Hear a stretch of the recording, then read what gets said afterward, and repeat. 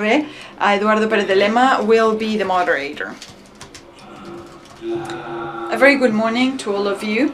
This roundtable will be carried out in English, so I will swap languages. Uh, uh, everyone, I wanted to thank first of all Mapfre Global Risk to first of all organizing this event in Salamanca, which is a great location to do that, and also to give us a chance to talk a little bit about reinsurance. It's uh, as you know, most of you, you are not directly involved in reinsurance, as, uh, but you are influenced a lot by what we are doing in the market as, as reinsurers.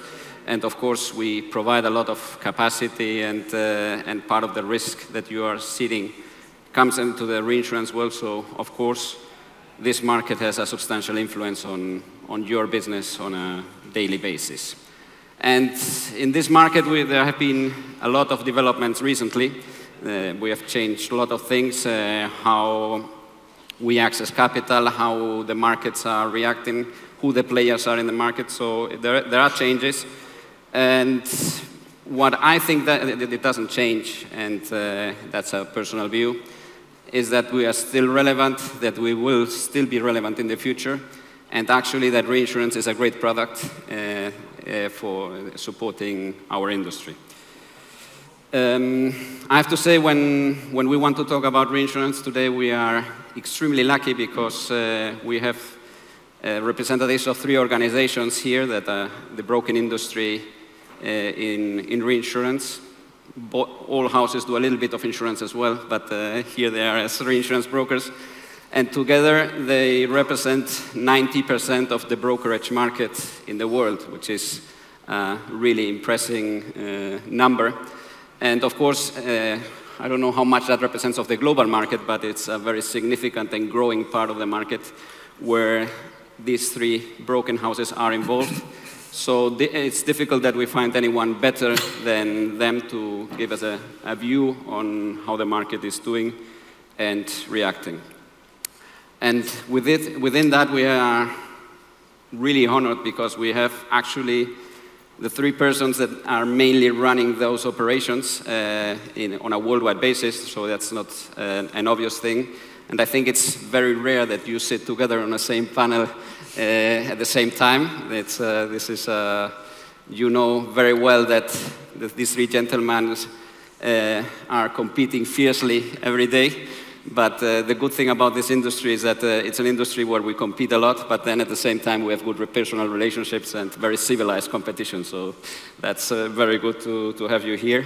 And uh, the three of them are a part of leading the organizations. They are all in the market and have been all in the market. They have been brokers for many years altogether, and they are still involved in the market, meeting with clients and doing business and actually broking, as I think with all of them, we have at some point do a little bit of broking, so I think it's a real privilege. So let me introduce them, and first of all, thank you for being here. It's not easy to come to Spain, to Salamanca. You are coming from New York, and both of you are coming from London. It's not easy, so thank you very much for being here. When I introduce them, please allow me to be short because I won't tell uh, all the things that they are, have been, or are doing because it would be too long and we wouldn't spend half of the. so it's. Uh, so I, by geographical order, so on my right I have Dominic Christian. He's the global chairman of Aon Reinsurance Solutions and also a member of the global executive of Aon Group. He started in the industry 35 years ago and in 1984 and I was not surprised, but as a facultative broker, which is, I, I never knew him as a facultative broker, but, uh, but then because 1989 he moved to Greig Fester as an international reinsurance treaty broker and specialized on retrocession, and from there he never really moved.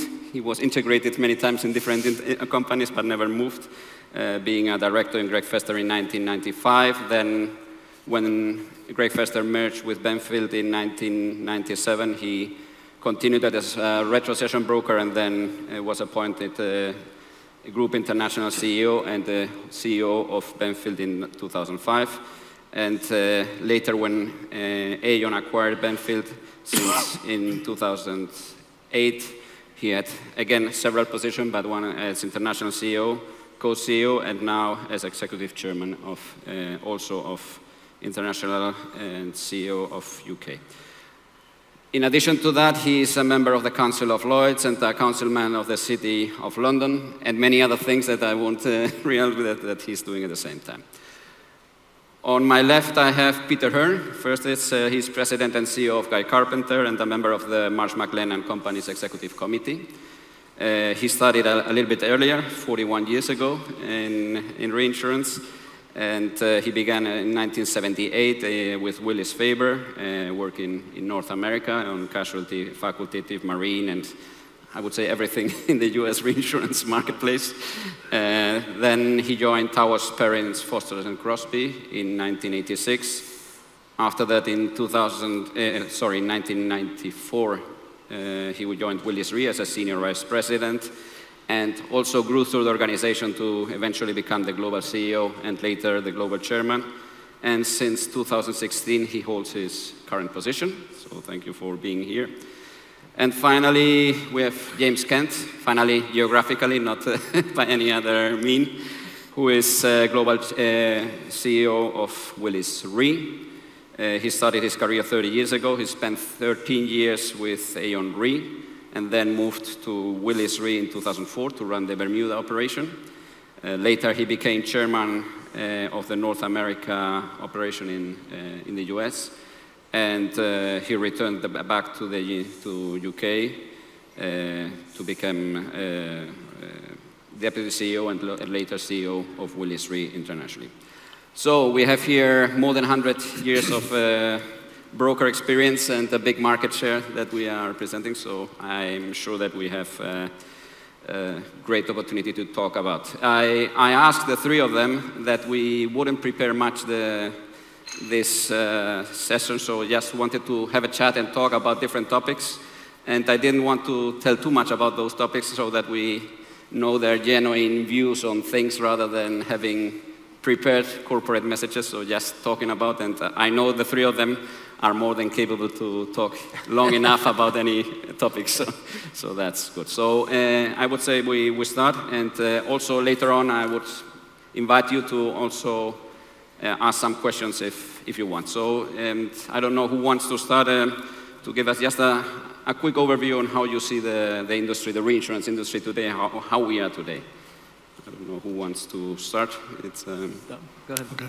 Tom, for example. Well, I'm on the right, so I'll kick off. And um, first of all, thank you for the honour and privilege of allowing me to be with you. It's lovely to see so so many old friends. Um, interesting what you're saying about the three of us being on a panel together. It is rare. In fact, I think it's the first time. So thank you for bringing us together. Uh, but reinsurance brokers are quite an interesting breed for two reasons. Uh, whilst we are heavily competing every second and every day, and probably will go away in half an hour and compete and so forth, the values of our three companies are very similar.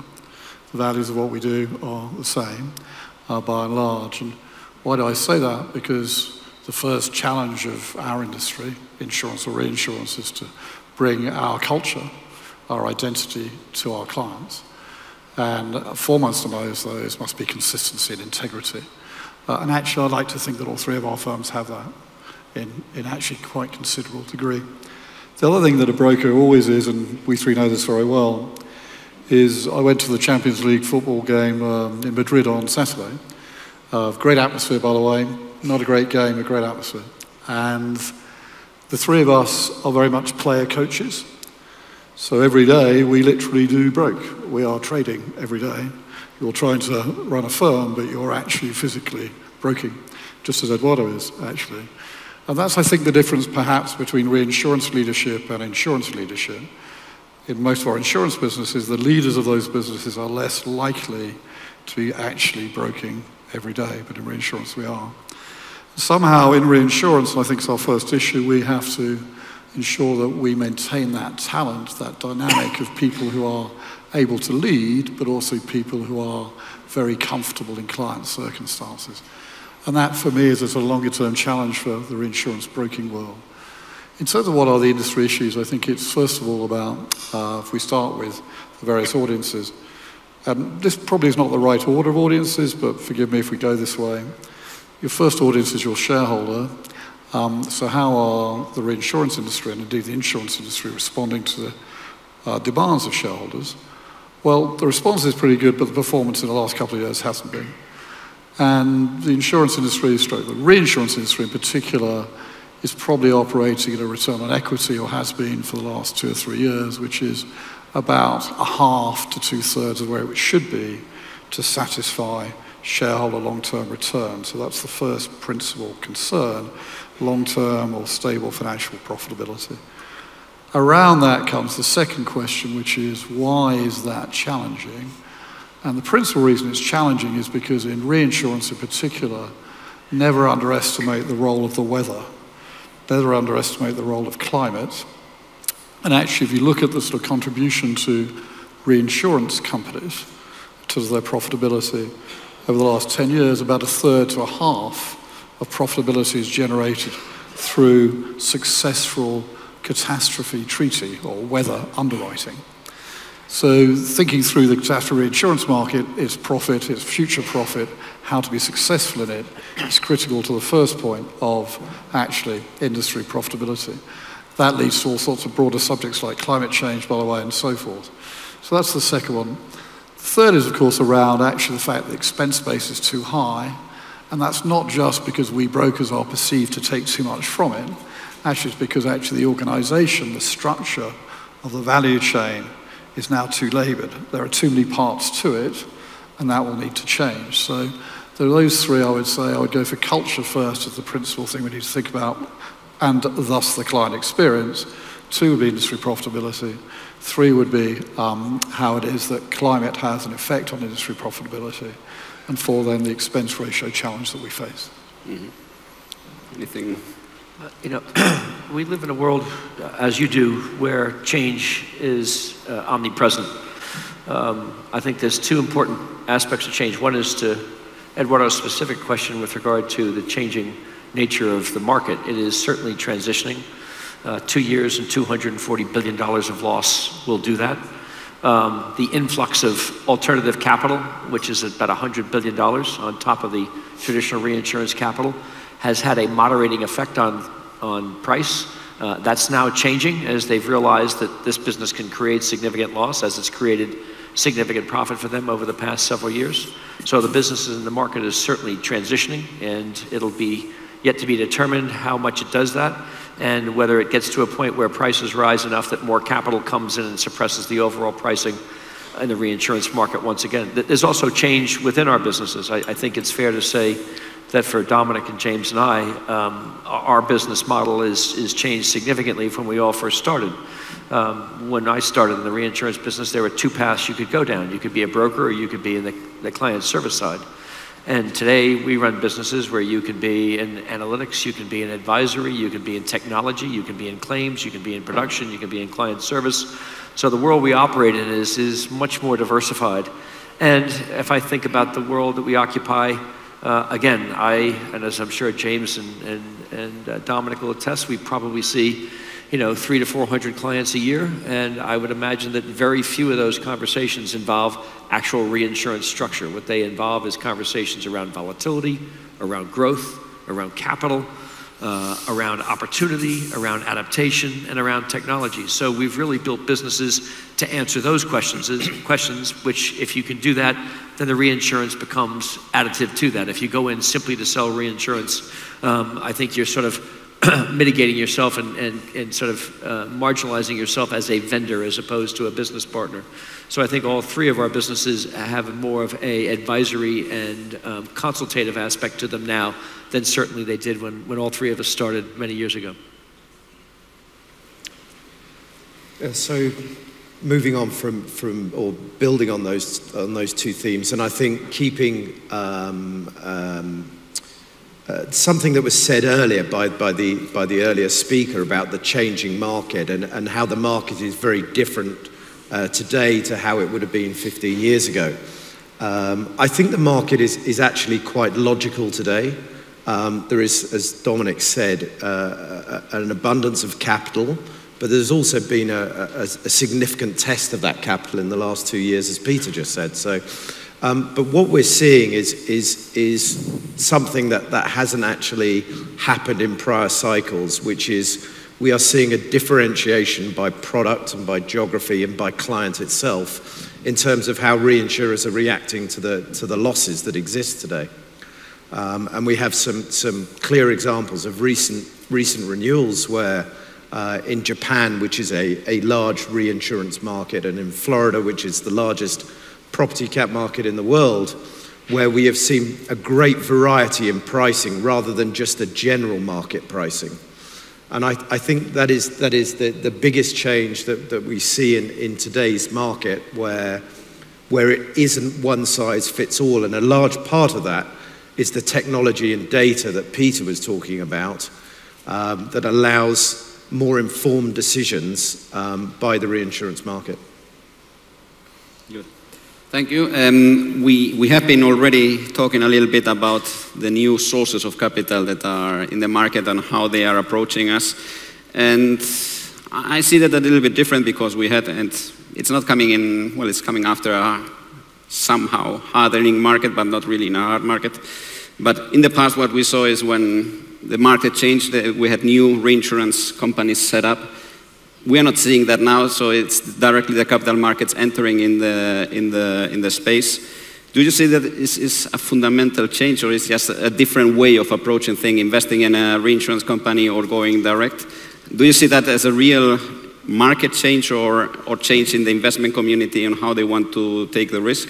Or is it just that they found a new way, but effectively they are doing the same thing as when we saw in the 90s where, or after 2001, new reinsurance being formed? Yeah. So to, to put some, some context around that, the, the ILS market, the, the capital markets, the, the, the uh, capital that has come into the business in the last 10 years, principally from the pension funds, is about 20% of the total reinsurance capital today. That does exclude Berkshire Hathaway, that has a, has a huge, sorts over $200 billion of capital themselves. So about 20% of the, of the capital that exists in reinsurance today is, is ILS or, or, or pension funds. Um, at, at, this point, uh, it has taken a pause, but there has been uh, very strong growth in the previous 10 years of that capital. So it's about, it's about 90 to 100 billion dollars, depending on, on, on whose analysis um, you view that at. Uh, it has taken a pause because, as Peter said, the, the, the, the catastrophe losses of the last two years have been a wake up call to that part of the industry that they are at some point going to pay losses. But, but I think uh, that, that it will find its way to keep coming. Um, and I, I think that for, for two reasons. One is just the sheer scale of the, of the reinsurance industry which is less than 1% of all funds, all, all pension funds uh, worldwide. So it is a tiny part of the total assets available to deploy. Um, but the second thing is that it is actually now partnering with most reinsurance companies around the world. So if you look at reinsurance companies around the world, most of them are now partnering with pension fund capital themselves. And I think that's a, that's, that's a happy marriage because you have the expertise and distribution of the reinsurance business allied with the, with the very fluid capital that exists in the ILS market. And the reason that, and what that, what that has done, Eduardo, is it means that there haven't been the startup companies because the capital is moving to the, to the established companies that are already there rather than new companies being formed. It doesn't mean that there isn't the occasional new company, and there is a well-known Lloyd's uh, uh, underwriter of 40 years, Stephen Catlin, who is establishing a new, a new insurance and reinsurance company and, uh, as we speak. But, but most of the new capital that comes into the insurance industry, uh, reinsurance industry today is going into, into, into reinsurance companies that already exist. Fungibility of capital um, in every industry is um, magnified by the amount of capital that exists in the world markets today. I, I, think there's some there's some fundamental aspects that, that need to be described, which is we all grew up in a world where it was what was the right risk for the exposure that you're underwriting. We are now seeing a world where capital has come in and it isn't so much about what is the right risk, it is what is the right yield on the money that I'm providing. So if the cost of your capital of a traditional reinsurer is 9% and the return you're getting is 7.5%, for traditional reinsurer, that's unacceptable. If the cost of your capital is 3% or 4% of a pension fund, 7.5 looks very good, and quite frankly, they'll bite your arm off for 7.5% because it's this blind pursuit of yield. Now, for the past several years, since they've been active in the market, so really from 2006 to 2016, they had 10 years where, you know, they were getting a nice steady return of 7.5 to 9% on their money all of a sudden we have two years where there is $240 billion of loss and those returns go to low single digit, even below their cost of capital.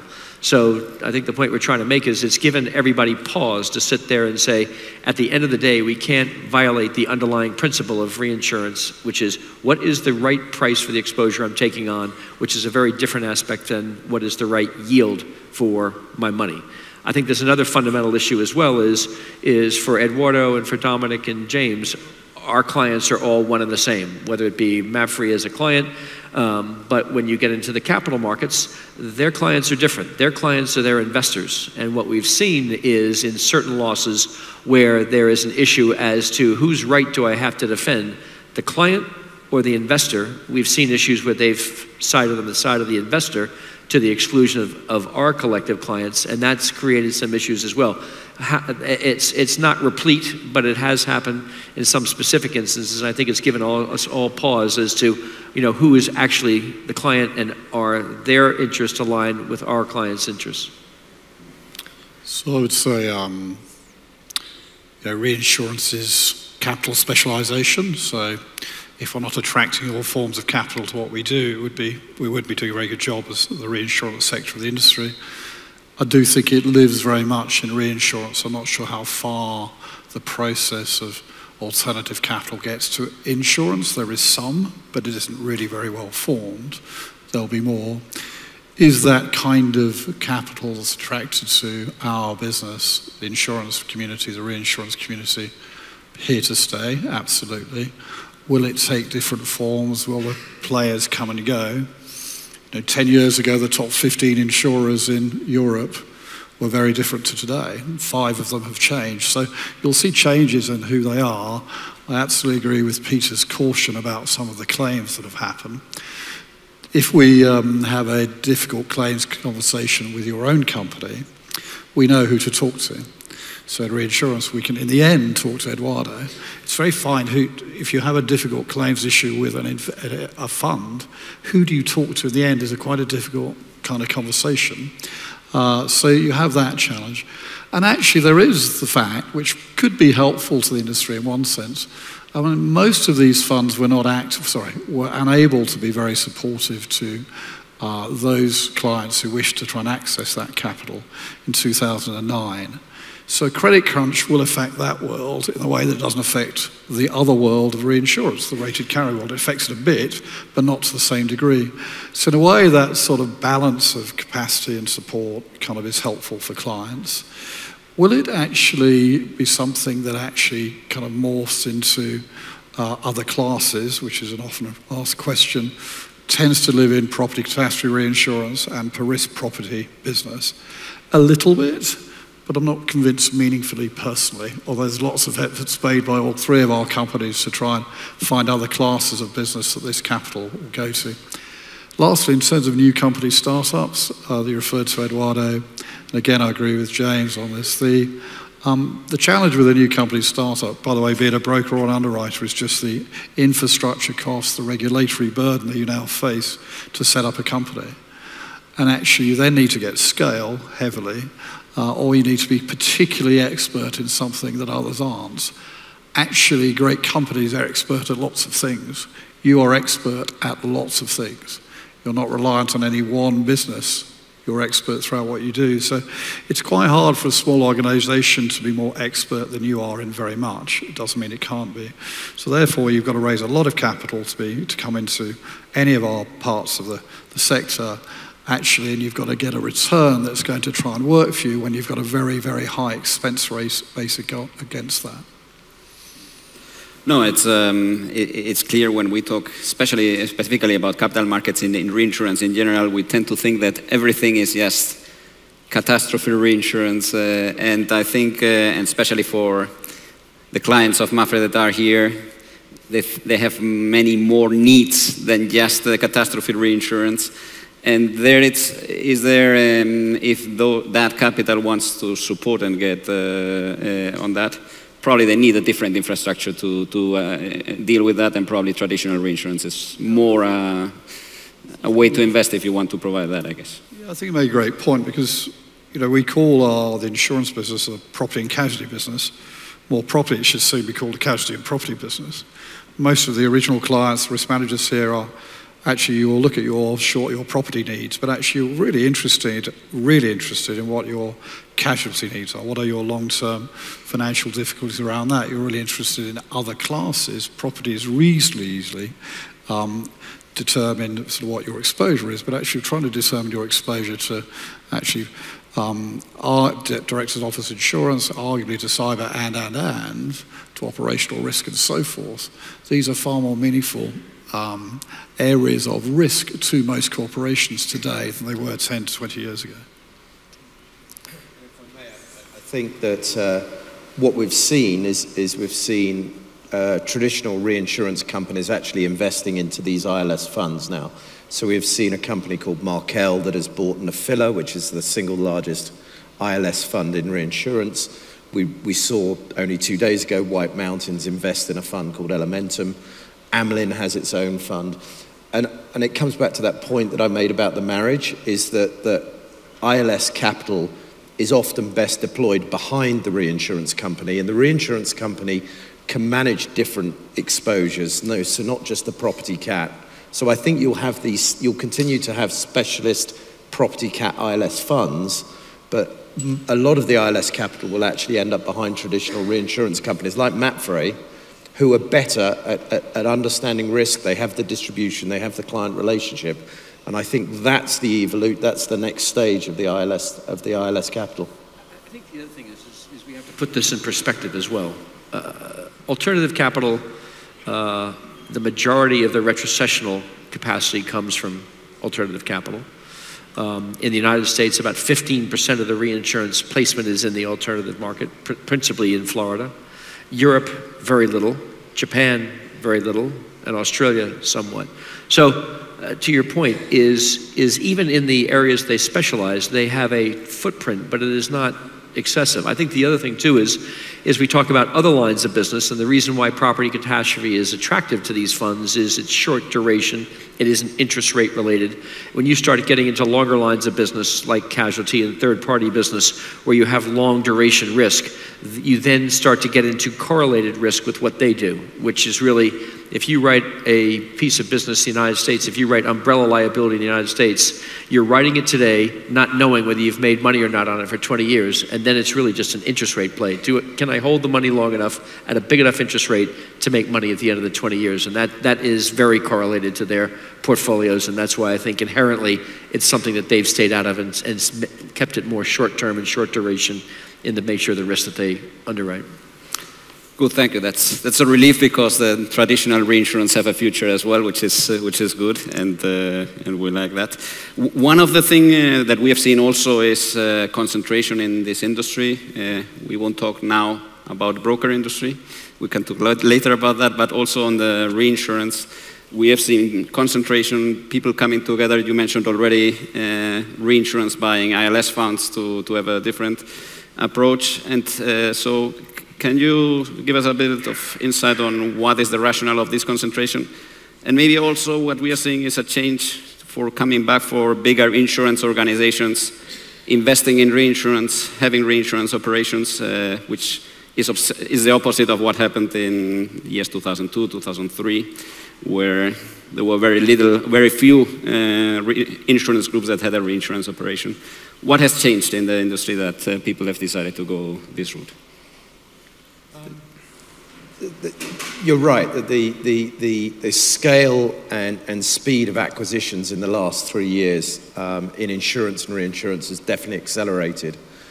And what you've seen on both insurance business and reinsurance business is carriers moving towards scale. And I think it comes back to a, a number of things that we've already spoken about, Eduardo, which is the ability to trade with clients across the piece. We have seen insurance buyers, when they look at their reinsurance panels, look at a panel of six, eight, ten reinsurers and say that those are my core reinsurers that I want to trade with over a period of time. I want to know that my claims are going to get paid in 20 years' time. So there has to be balance sheet strength, there has to be expertise, and there has to be a relationship that, that, that allows, allows me to know that I am going to get my claims paid um, across those different business lines.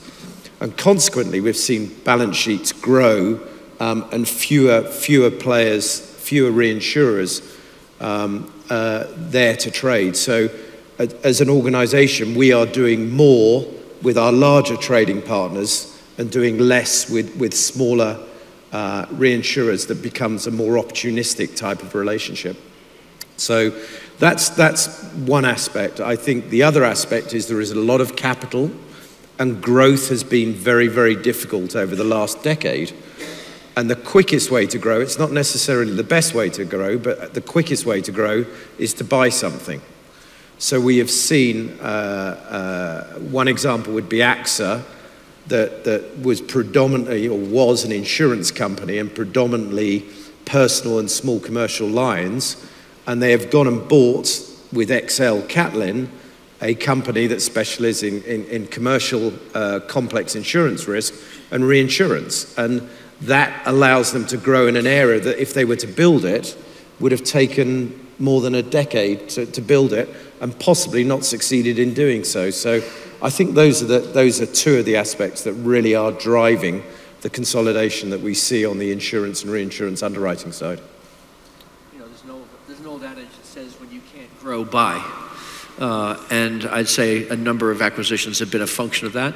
I think there's also the, uh, the more insidious element of it, which is you know, if you think about our business, we have this supply chain where if you have a teacher in Boston who insures their house through uh, Marsh, and then it goes and is insured through Commerce, and then in, Mapfre then says and buys their reinsurance through any one of us, and then we go into the retrocessional market for capacity behind that.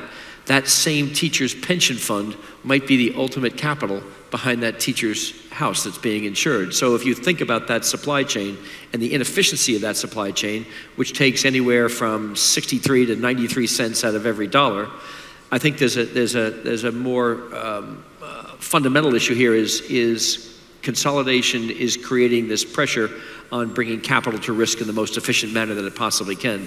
And whether it's from outside the industry or inside the industry, I think everyone's trying to figure out that dilemma, which is how do I bring capital to risk in a much more efficient manner than exists today? I think I'd only add two points to, to, what the guys have said, if I might. Um, one is uh, it's rarely now sufficient to be connected to a client on one line of business, and many businesses essentially were expert at one thing. Now, you could argue in property treaty that's not the case, but certainly in insurance it's tr- not true. You're trying to offer a variety of services to a client. Many businesses couldn't do that, so therefore they couldn't be as relevant to clients potentially they might wish to, particularly in uh, the commercial sector and the large risk sector and so forth, which so many of you are involved with. The second would be that the changing nature of global capital. So if you look at the process of the sort of many of the insurance company purchases, actually it started with the Japanese, essentially, the Japanese companies 10 years ago, realizing or thinking that actually, and rightly, that actually they had substantial exposure in Japan, but had no diversification to that exposure. And the three largest Japanese companies not only did actually the six largest merge together, but they also then chose to buy a series of entities outside Japan. So for me, you want to see this continue, not least because actually where you look where capital currently lies, and you look actually at expertise, then you'll see certainly much more M&A than we've known for some time. Good. Let's then move to consolidation on your space, on, on brokers. All, I think all of you or your firms definitely have been going through the process more recently or less recently, but uh, you were all involved with us. And uh, I won't ask you if you personally think it's good or bad for the industry, but, uh, but uh, at least to, to understand um, what is the rationale behind so much concentration? We talked 90% of the reinsurance market is, uh, broker reinsurance market is in, in three hands. And uh, also if your perception is if you were just reinsurance brokers, forgetting about the rest of the business of your groups, if this concentration would have been exactly the same or is, or, or is it just the consequence of the wider groups looking for concentration, and what is happening to the reinsurance broking market? Well, Maybe you are the closest since, since I'm in the middle of it. um, I'll start. I, I'm going to be a little controversial here because I think in any industry where you have more suppliers than distributors, I don't think that's healthy for the industry. And uh, I, I, say that with the, the view that competition is good for everybody. Competition is good for Mapfre as a buyer. Competition is good for, for Dom and, and James and I because it makes us all that much sharper, that much keener, that much more urgent, that much more passionate about providing a, a host of services to our clients. Um, quite frankly, uh, I, am sure that the um, acquisition of JLT by Marsh was not driven by JLT Re. It was most certainly driven by the acquisition of JLT Specialty and JLT Insurance. Um, be, be that as it may, to James' point earlier, is I think there needs to be diversification. I think, it, as I said, it's good for everyone, it's good for the industry. But there's equally, as I said before, our buyers today are, are worried about concerns outside of the reinsurance transaction. And to be able to have the scale and the scope and the financial wherewithal to be able to constantly invest in our business uh, because I think, as I said, the most important thing is to understand what you are in your business. And we have gone from all being traditional traders and transactors to being strategic advisors with execution capabilities. So as the business changes, as the needs of a Mapfre change and our client base changes, we have to be able to adapt to that and reimagine our business. And the only way to do it that I see today is scale, given the order of magnitude that's required from us by our clients globally to provide capability, product, people, technology in order to help them grow and, uh, and prosper. Just expanding on that, uh, trying not to be repetitive here, but if, if you do go back 15, 20 years, the one thing that we did for our clients was place reinsurance. And the, the clients had an, an expansive list of, of brokers that they could trade with and for some clients, it was which broker I, do I either have the best personal relationship with, so I will trade with that particular broking company, or B, which broker is going to go and get me the, the, lowest, the lowest cost deal. And that's the broker that I'm going to go with. But that was really the scale of the relationship. It was either personal or it was cost. And, and those were the two things that established the relationship. Peter's right. You know, when, when, when we go and see our clients today, often, and, and, and the, the, relation, uh, uh, the discussion is rarely around reinsurance because we, we, all, we all will tell you that we can do the best job for you as your reinsurance broker in terms of the transaction. But arguably, the market, with 90% of the, of the market going through these three brokers, the market sets itself. So the, the way that we differentiate ourselves with the clients is how we help them with their business. And the fact is today, whether it's talking about technology, whether it's talking about predictive analytics, whether it's talking about capital management, whether it's talking about growth, acquisitions, these are the things that are driving the conversations that our brokers and, and analytics teams are having with the clients. And to have that expertise is challenging. It's expensive. It takes time. You know, we, we, we I, Willis Re is the smallest of the, of, of the three companies that are up here today and we have two and a half thousand people in our organization, and, and, and of those, five or six hundred would be described as brokers. So there is a whole cast of, of, of, support behind the brokers that are helping our clients in other ways beyond the transaction. And that, that cost of entry to build that is very, very difficult today. So, do I see the 90% changing? I don't, and that's not being defensive. I do, we have seen spin offs, we've seen some independent brokers trying to build, but it is very, very difficult to build a model, a broking model, that will challenge Aon, Guy Carpenter, or Willis in terms of what we bring to our clients. So I, um, I think the first thing to say is that it's 90% of what? Uh, the reinsurance market, global market premium is about 180 billion or so. We've all got slightly different figures, but it's about that. Which 50% isn't intermediated. We would like it to be, uh, but it isn't. So there's vast room to grow for all three of these firms, I think, uh, heavily. Here's the challenge. Uh, we've gone from being, I started with a broker of 18 people. There are 18 of us. Um, I haven't moved much since. No one's wanted, wanted me really. The, but we were then a dating agency. We're now a data service business. We were then admin. We're now advocates. We were then agents. We're now advisors. Let me give an example why. And I hope you don't mind, guys. I wrote this down. But I had a meeting yesterday with, in fact, it was I had to present to a board yesterday of an insurance company. I'm a reinsurance broker. So, what questions would you ask a reinsurance broker? These were the questions I got. Are my products differentiated? Am I operating in profitable markets? How can I win the distribution game? Is my value proposition clear to customers and distributors? Are we paying claims in an efficient, low cost, expedient manner? You talk about my loss ratio. Could we talk about our expense ratio? Am I using third party capital optimally? And of course, can you reduce my cat retention on my treaty? The, specific one of those questions I might have been asked 20 years ago was the last one. That was about five minutes of the hour we spent together. Now, you have to be, believe me, a very sizable organisation to answer those questions because no one person can, and certainly 18 people where I started couldn't. And that's what's expected of us. And when we talk to your colleagues and to Eduardo and his team about reinsurance or retrocession, of course we're talking about that topic as they wish us to. But actually, you expect more from us. You expect an analytical service, you expect a sort of understanding of risk. What brokers do today is very different because it was a transactional service. Now our principal role is to understand your risk or to help you understand it. Then we transact in either the capital markets or the, non, or the traditional markets. And actually, what are we achieving overall? We're trying to help you grow your business.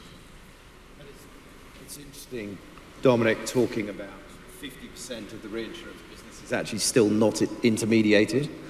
And that for us is, is, is uh, the great opportunity because we will bring all those, those things that Dominic just said about how we're going to help clients in terms of everything about their business, including reinsurance. And the challenge that the direct market has is, is in terms of investment to compete in terms of that advice. And it's not to say that the direct market can't do it, but, but, but, it, but in North America, Peter, when, when when going back 30 years, if you take the direct markets, 90% of their business came through the direct markets and 10% through the brokers. And that has flipped on its head. Now, of what were considered direct markets, 90% of the business they now write goes through the brokers. Uh, that hasn't happened in parts of Europe, it hasn't happened in parts of Latin America. And that is, a, that is a big opportunity for both the brokers and therefore the reinsurance industry as a whole for that growth to come in through the, intermediate, the, the intermediaries and, and, and into the reinsurance market? I think all of us have built businesses to sit there and say, we'd like you to call us if you have a problem, not just if you have a reinsurance problem. If you have a problem with any part of your business, we have a response to that. And I think that separates you from being an intermediary to being a business partner. And I think if you're just seen as an intermediary, you, you limit yourself in the view of your clients. And if you're considered as a business partner, uh, you have to have value and dependency to have a successful relationship with your clients.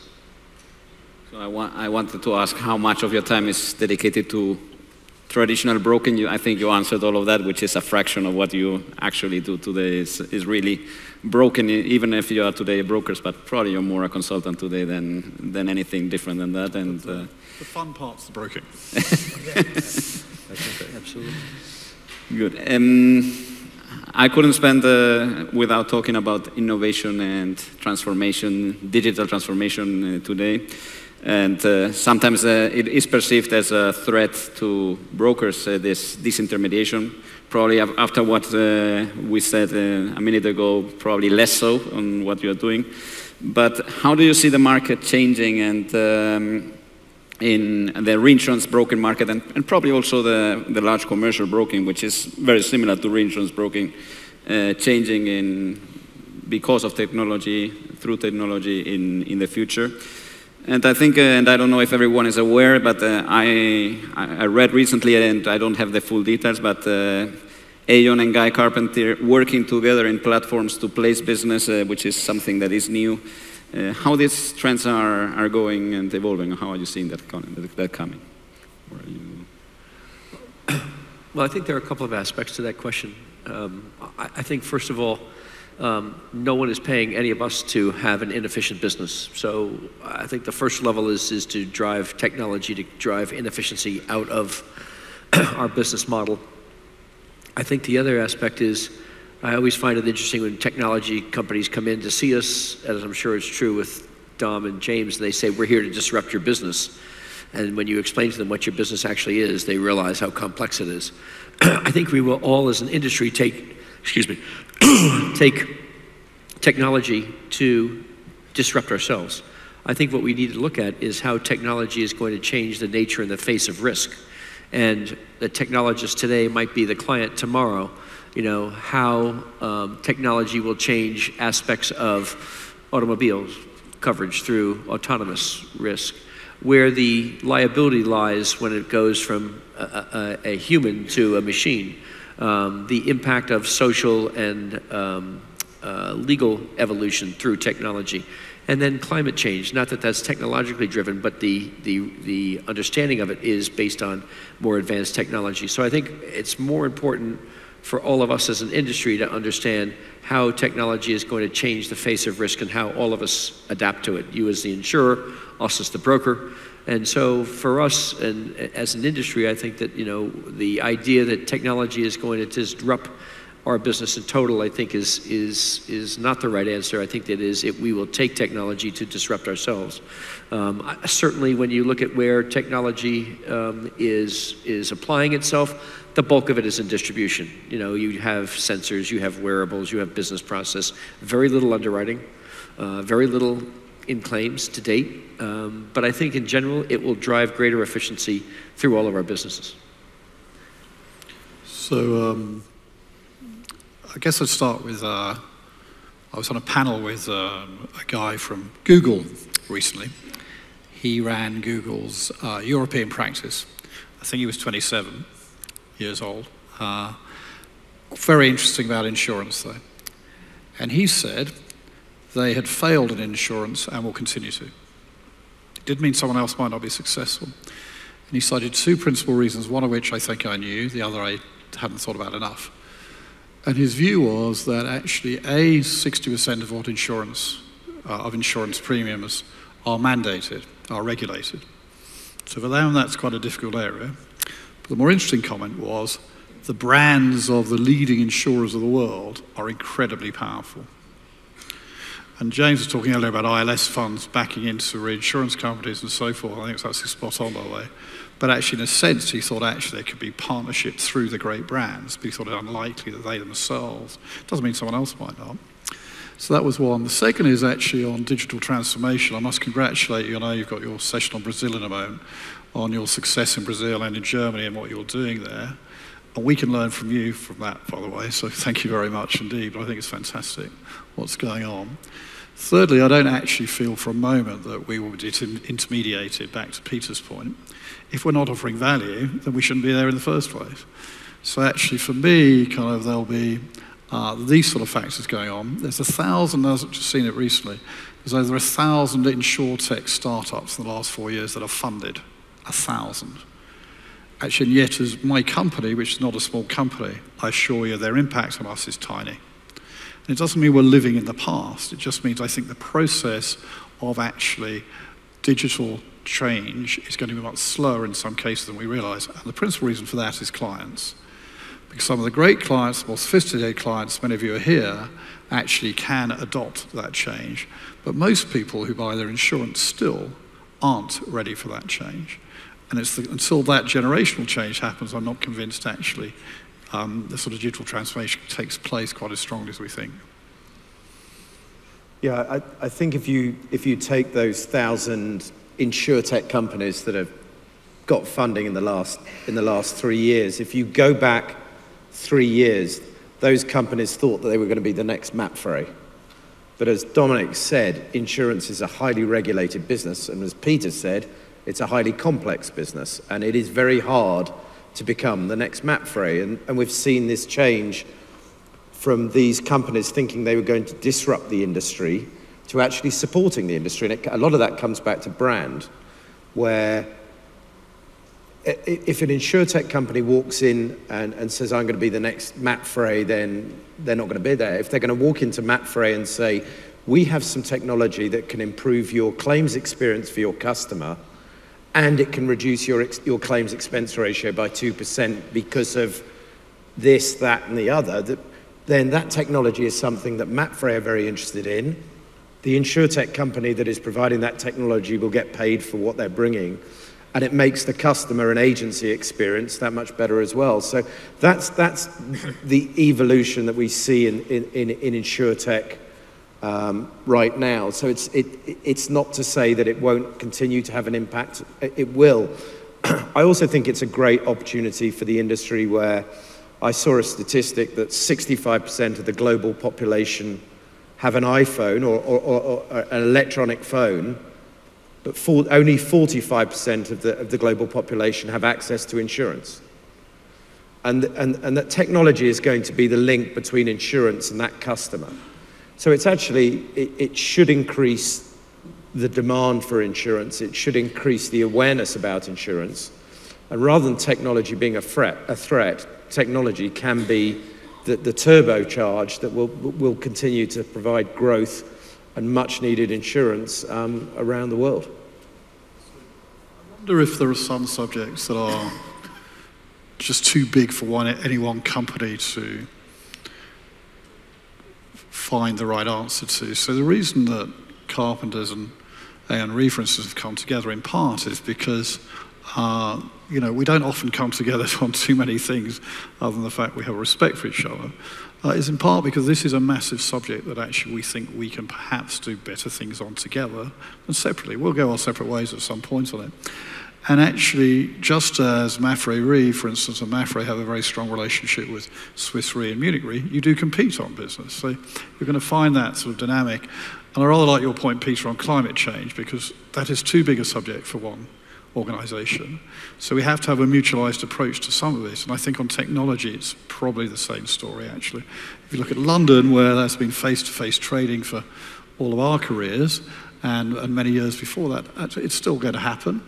But actually, we've had to come together, these three organizations in particular, to try and modernize the London market. And we're doing a reasonable job on it, actually. So some things we have to cooperate on, which may seem str- strange, Eduardo, but probably is sensible for the industry One more aspect of this that's important is, you know, uh, uh, we've reached an analog ceiling in, in society, in the world in general. And the thing is, is what, what does digitization mean? And what is the world of AI and machine learning, voice recognition? I think the impact it's going to have is as an industry, we all hoard data. We all have our individual data, we hoard onto it because it's special well, we're going to live in a world where data is going to be accessible to everyone. And you may make the argument that over time, all data for the insurance industry should be open source, and those people who have the requisite insight can then glean the competitive advantage from that data using their own digital capabilities. And so I think if I look out into the future, what technology will do is, is create a great leveler in this business where all data will be open source, and those companies that have access and, and insight will be the ones that will be able to differentiate themselves. So it's a long topic, as, as you see, that, that we can, could talk long about that. We are close to finish. I, I would have more, uh, more topics, but I would uh, like to give the opportunity if someone would like to rise from the audience um, any topic or question.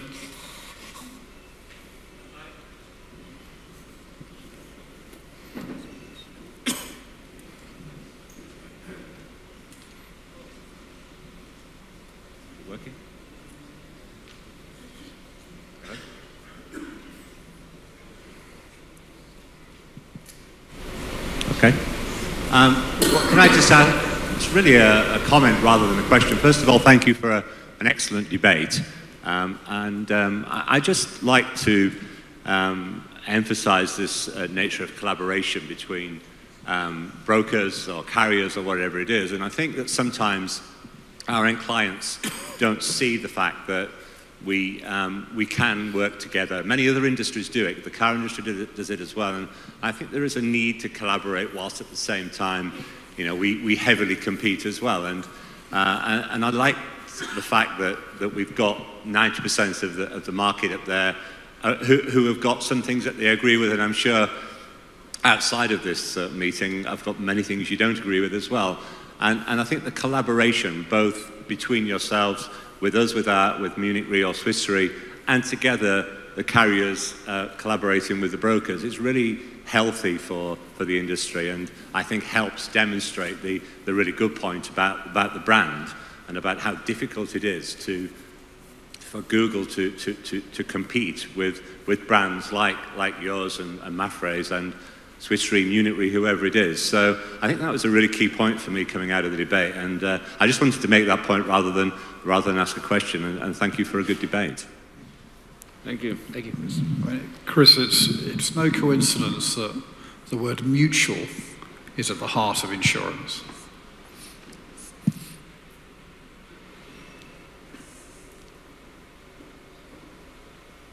So, if there are no, no other questions, we, we have one minute left. Uh, I had one additional topic, but I think it will take us more than, than a minute to talk about that, which is uh, one problem that I think affects us all and uh, really is causing threat to the, our ability to provide our, our service to the client and to society, which is trade barriers and barriers to transacting reinsurance in many markets where we are forced to put capital in different locations. I think it's a, it's a long theme and, uh, and probably a, an issue that we have uh, with our clients as insurers, reinsurance, and brokers. But I think we won't have in 30 seconds the, the answer for that. It's, it's well, my nation's done a very good job in recent years of, uh, says James, of causing trade barriers to be erected. Um, I'm very glad we haven't done Brexit today. Thank you, Eduardo, um, having to talk to it. But actually, uh, believe me, it's not a subject that many of us enjoy in my country. Uh, it's really problematic because the international regulatory supervisors are not connected in the way they need to be to deal with trade barriers, and that's the fundamental issue we have, I think. No, no one wins in a trade war. no one. So thank you. thank you. very much. We are just in time, so it's uh, it's. Uh, I think we are okay. Uh, thank you again very much for coming here, for being available to share this uh, this hour with us, and to come over to Salamanca. And so, thank you very much. It's a pleasure. Thank you very much.